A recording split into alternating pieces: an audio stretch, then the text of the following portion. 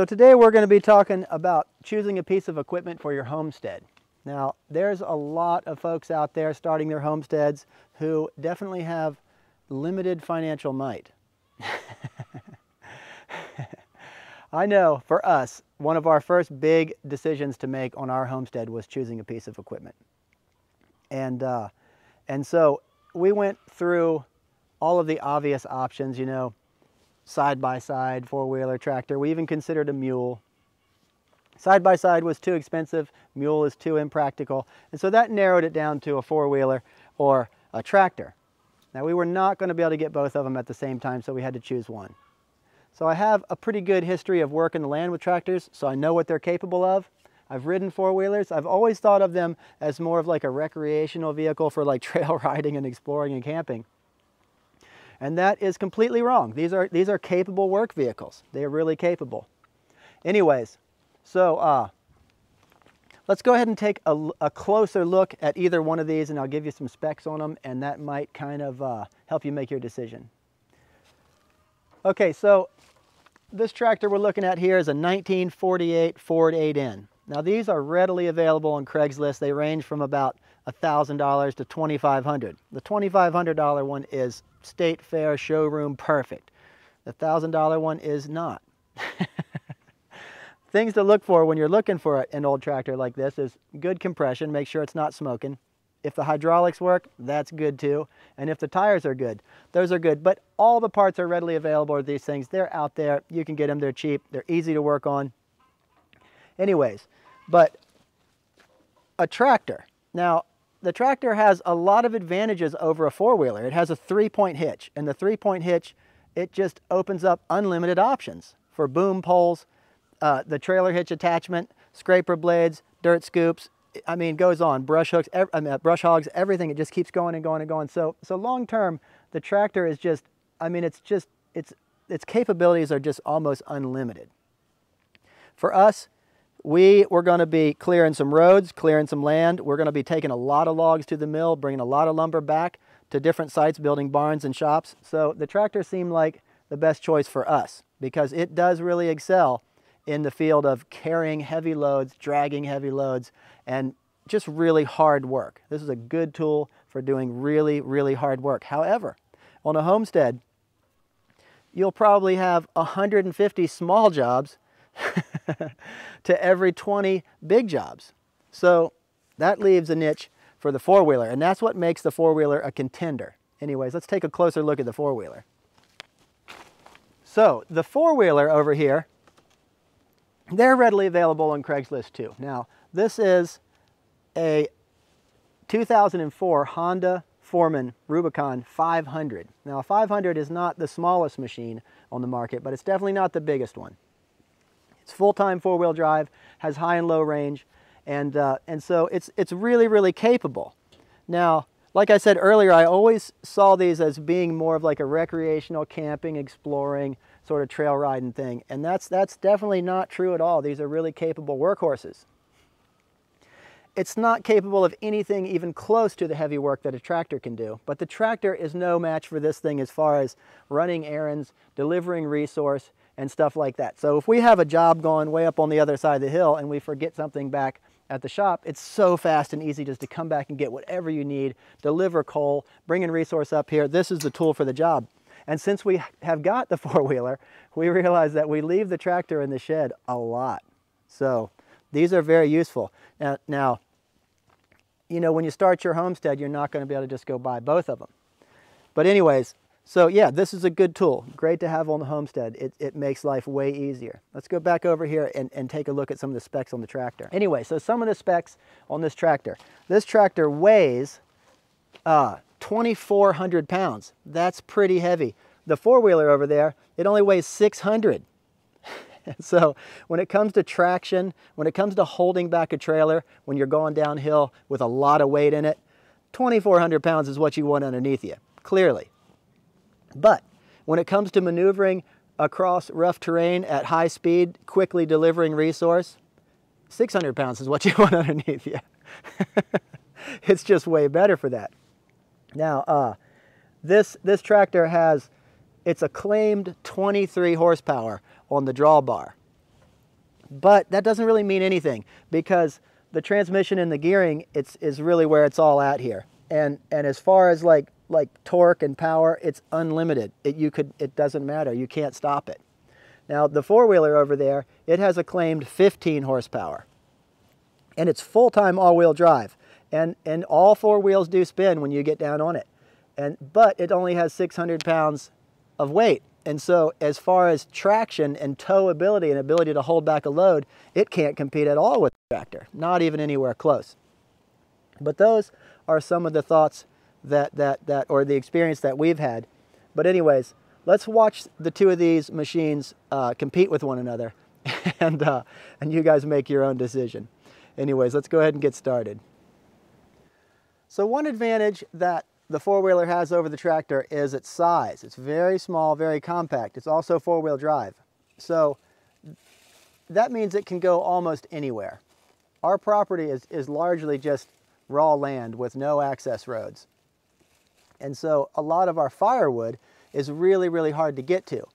Now, a disadvantage is it can't haul very much, where the tractor can haul five times more firewood. But the tractor can only access the firewood that's alongside the roads, which is very limited. And with the four-wheeler, it allows us the ability to get out in the woods and access all the little pieces, just unlimited amounts of it. So that, that's a major advantage. So we're gonna go ahead and cut a load and put on here, and you'll see that the load itself is not very big, and the four-wheeler can't ha handle that much weight, and it starts to get tippy, and, and it becomes a little unstable over the rough terrain. So let's get a load on this thing and you'll see exactly what we're talking about. All right, so we have it loaded up. And in terms of a lot of firewood, there's not that much firewood on here. But in terms of a safe load for the four-wheeler, it's at the top end of that safe load it's probably like all the way to the top of the safe load because even with this sort of volume of wood, it makes it incredibly tippy and, and hard to maneuver and fairly dangerous in, in, general. So you definitely don't want to go any more than this. But let's, uh, let's start working our way out the side of the hill and, and you'll see what I'm talking about. So for scientific purposes, I, I just want to show you how just how tippy it, it gets with the wood up like that. You can see that I could easily tip that thing straight over. And so when you're maneuvering across logs and uneven terrain like rocks, I mean, it's, it, it is a thing. The four-wheeler can't haul that much.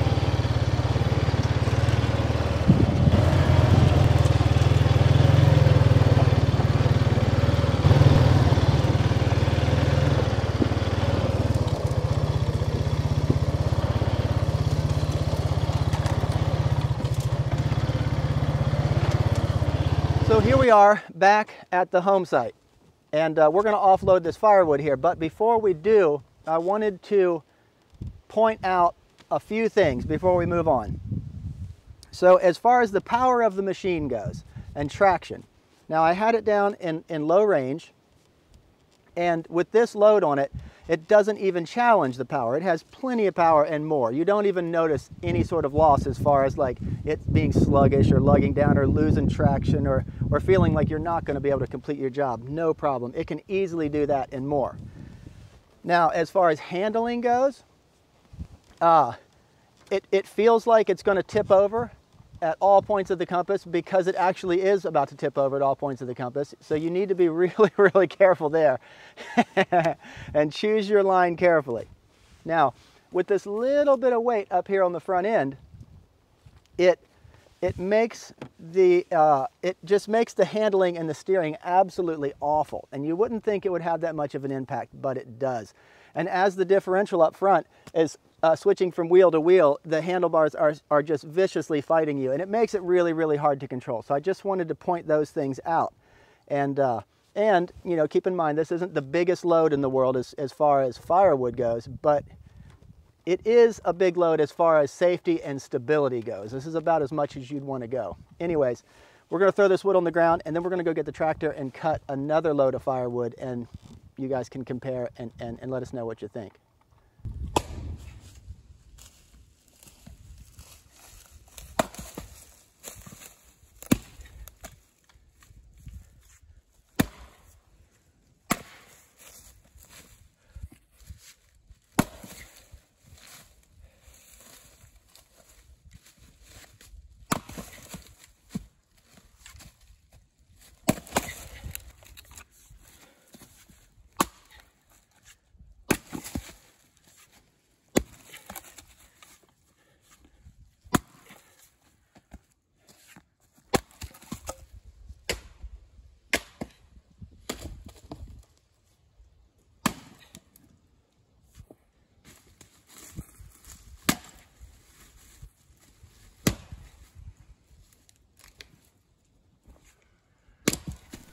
So we got her all loaded up and securely lashed down. Now the trailer we're using here is a 4 by 8 So 4 by 8 by 2 would be an exact half a cord of wood. So you can see we're a little bit more than that. So I think we're pushing about two thirds of a cord.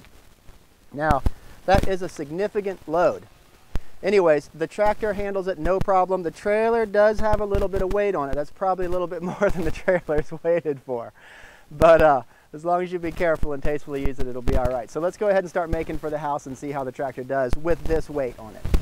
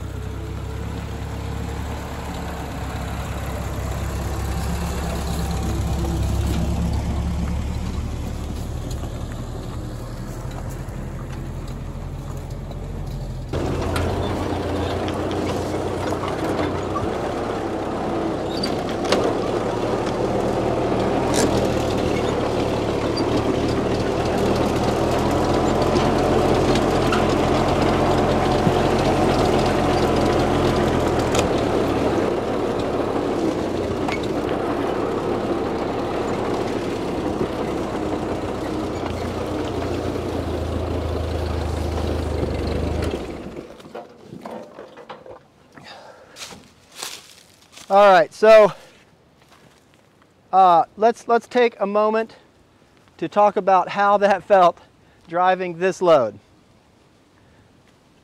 This is an incredibly heavy load. And we, we were on the road most of the time and we only went up a, not a very steep hill, but it's steeper than it looks on the camera. And it had pretty good traction, no problem going up the hill. Now coming right down through here, is really steep and really loose. And that's really like where you can die pulling heavy loads off-road, is when the trailer starts to push the vehicle. And it felt like the trailer was pushing the vehicle significantly right there. We didn't die, we made it. But I'm just saying, it was definitely to the higher end of its capability as far as going down hills go through loose gravelly slopes. Anyways, let's get this load on the ground and we will compare the size difference from the four-wheeler load to the tractor load. All right, so we have uh, both loads of wood stacked, and I don't think you guys are gonna be too shocked about the contrast between the two loads. Anyways, let's take a look. So this here is the four-wheeler load right here. This pile or this stack uh, is six foot six in length and is approximately this high. This load back here is the tractor load and it measures seven foot six in length and is approximately that high. Anyways, both machines handled really, really good and in their element. So the tractor was not going to be able to access any of the area where the, where the four-wheeler got its wood from, and the four-wheeler was not even going to come close to being able to move that load of wood, the, the tractor load of wood. It wouldn't even be able to get it moving on flat ground. And if you were unlucky enough to accidentally get it rolling, if you ever went to go down any sort of grade, you would absolutely die trying to control that, that heavy of, of a load with the four-wheeler. The four-wheeler absolutely just doesn't have the weight or the traction. There's just no way it could do it. Anyways, I don't think there's a winner and loser in, in that sort of comparison there. Both of them excelled and did great. So uh, yeah, let's move on to something else. So for this next challenge, I'm going to represent the old 48 Ford. And I am going to represent the four-wheeler. The challenge itself is going to be, we have about three red oak logs that are about this big around and roughly 10 foot in length, and they're green, so they are considerably heavy. Anyways, we're going to see what machine can reliably move them around easier. And uh, I got a sneaking suspicion I'm going to come out on top on this one. We'll see about that. what she doesn't know is I got a secret weapon. So who wants to go first? Well, I thought I did, but I guess I will. All right, let's get into it.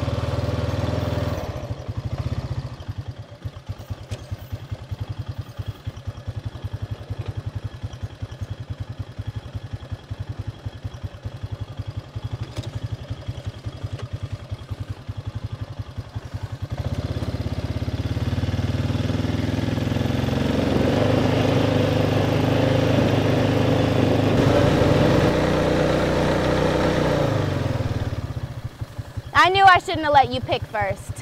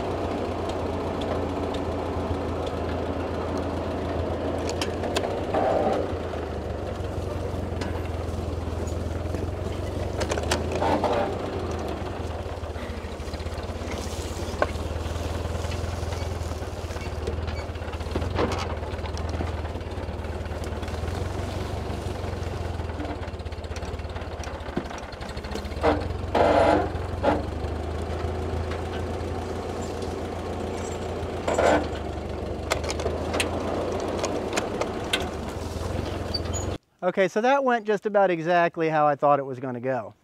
Because you cheated. Yeah, I don't know. It's not my fault that she didn't come prepared. See, my grandfather taught me to never bring a mustache to a beard fight. so, so I came prepared with the right equipment. Now, sure enough, the four-wheeler, it doesn't have a boom pole. It's just dead trying to drag the, the logs, which it's never going to be able to do that. But, but the reason why I brought the boom pole into the situation is because this is an element of decision making, a boom pole. Now, to empower a four-wheeler to the level of what this tractor is capable of right now, you're going to need a lumber arch. And a lumber arch is really, really expensive and it's really only good for dragging logs. And so, you know, a boom pole, you can buy this thing for 50 to $100 on Craigslist all day long. And you can stack big rocks with it. You can move logs. You can stack the logs as you see. You could drag them. It's just, I mean, you can lift up the four-wheeler to do work. It just, it opens up a whole new level. And so maybe I cheated in this uh, challenge, but I also won. in this challenge, Oh, but are you thirsty? Because I brought up water on the four-wheeler. Hmm, well, that's a good point. I really don't have anything over here. Anyways, let's go ahead and uh, let's move on to the next challenge and see, and see, uh, see how things turn out. All right, so for this challenge, again, I'm going to be representing the 48 Ford. And I, the four wheeler. So this challenge is going to be running errands. So what we've done is we have placed three bags of coal at a desired location. And it's simple. The first person to go get the bags of coal and return is the winner. That's most likely going to be me. so anyways, uh, yeah, let's go ahead and go. Hey, look at that coyote. What? Aw,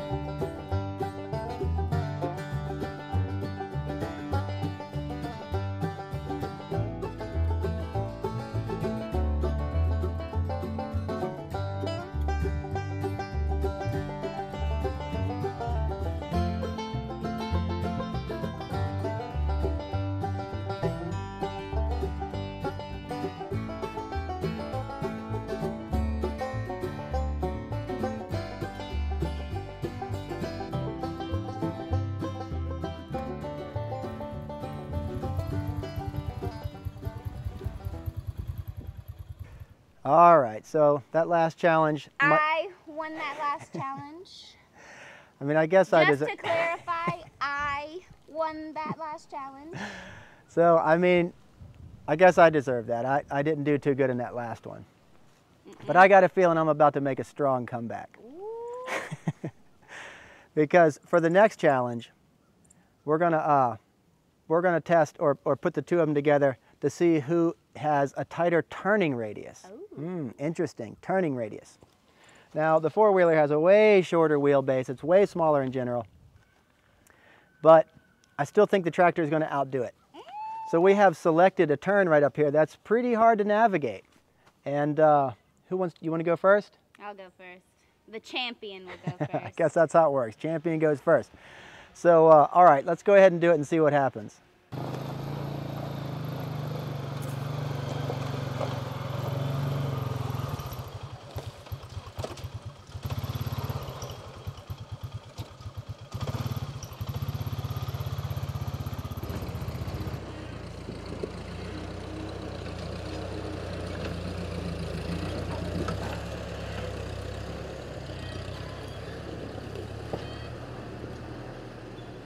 All right, so I think that was pretty obvious that last challenge. The uh, the tractor clearly came out on top on that one.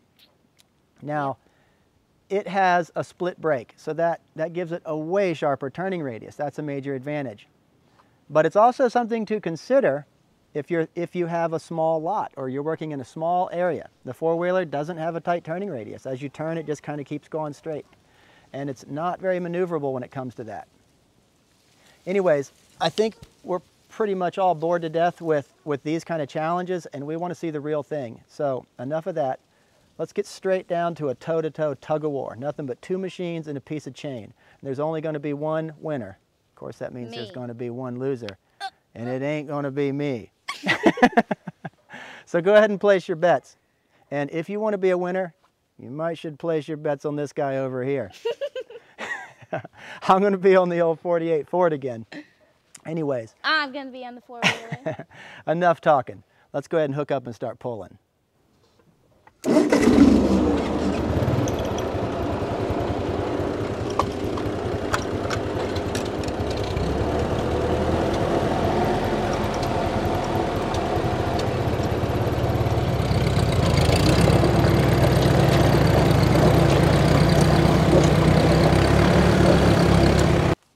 Okay, the four-wheeler made out absolutely terrible on that one. The tractor, it, you couldn't even tell you were pulling anything. It was like there was nothing at all hooked up behind it. So now the four-wheeler is at a huge disadvantage. I think it weighs a little over 600 pounds or something. And the tractor is much heavier. What, 2,300 pounds or something like that? Yeah, Yeah, 2,300 pounds. And so now, when, when we were thinking about a vehicle or a, a piece of, of equipment to work the land, one of the things that we were going to need to do was to be able to tow logs and tow trailers and move heavy things around. And as you can see, in the department of being a towing vehicle, the four-wheeler is absolutely a bad choice. It's not going to pull anything. Our firewood trailer, when we moved that firewood trailer around with this four-wheeler completely empty, it feels like you're going to die if you go down any sort of grade at all. It starts to push the, the four-wheeler and it makes it feel like it's going to fishtail out. And it starts to fishtail out in the turns, but you can accelerate and get out of it if you're lucky. Anyways, as far as like a, a machine that's going to pull logs, pull trailer full of firewood, a four-wheeler is awful. It's, it's just not going to do it, not even close. Any small tractor is going to outdo the four-wheeler. However, uh, uh, uh, as far as running errands, any tractor is going to be outperformed by the worst four-wheeler in the world is going to outperform the best tractor. and so there is there is there is a uh, there is a phenomenon on, on a homestead where you do about 150 small jobs to three or four big jobs. And so what we have noticed is since we had our four-wheeler, we don't use the tractor as much because we do so many small jobs to every one big job. And we don't have to do the small jobs with too big of a piece of equipment. So clearly the answer is if you have to choose between one or the other, is to choose both of them. You need both pieces of equipment. That's clearly the answer here. However, if you're financially challenged like we were, that was not an option. And so I think anyone watching this video can kind of see that the better piece of equipment to start with is definitely the tractor. And uh, there is a lot to consider when buying a tractor. There's a lot to consider when buying a four-wheeler. And there's no way we would be able to get all of that information to you in such a short video. But we did the best we could for such a short time period. Anybody has any questions about anything, feel free to ask. Again, on our channel here, we like to share information from our experience. And so from viewing our videos, you can see that there is some information to be shared there. However, a lot of the sharing of information comes through the comments from old timers who have experienced working the land their whole life. And, and so that is another really good place to share information. And, and we want to take a moment here to say thanks to everybody for taking the time to write such detailed comments. Because not only do we appreciate the information, but we also appreciate sharing the information and having a place for everyone else to read the comments and everyone else to learn. Anyways, so yeah, we just wanted to say thanks to everyone for their, uh, their uh, properly thought out and, and uh, delivered comments. We appreciate that. Thank you. And uh, I guess that's enough for now. So we hope you guys enjoyed watching and we'll see you guys in the next video.